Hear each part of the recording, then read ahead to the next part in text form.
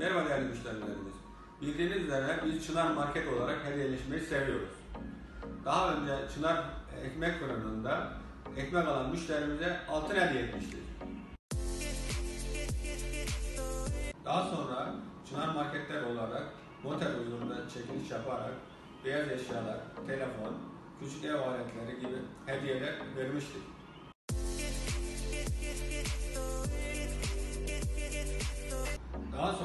Noter huzurunda çekiliş yaparak araç hediye etmiştik.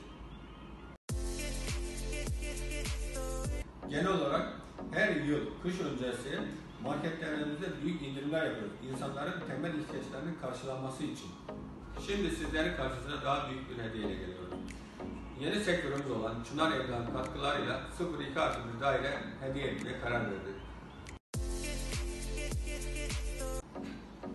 Kazancını müşterisiyle paylaşan market yine paylaşmaya devam ediyor.